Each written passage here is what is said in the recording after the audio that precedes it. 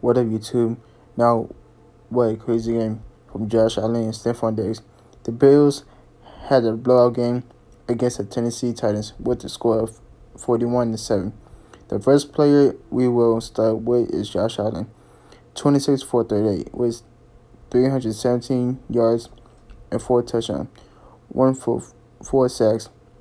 James Cook got 11 carries with 53 yards, and the man himself, Stefon Diggs, with 12 carries, 148 yards, with three touchdowns.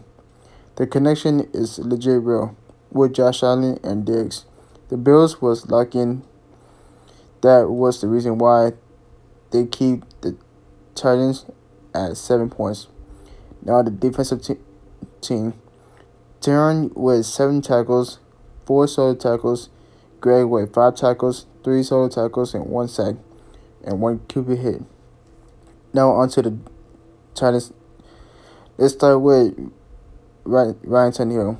Went 11 for 20, 5.9 average. With two touchdowns, he was getting locked up. Derrick Henry 13 carries with 25 yards with one touchdown. Now let's go on the defense. Roger with 11 tackles, 11 solo tackles. Kevin with 7 tackles, 6 solo tackles.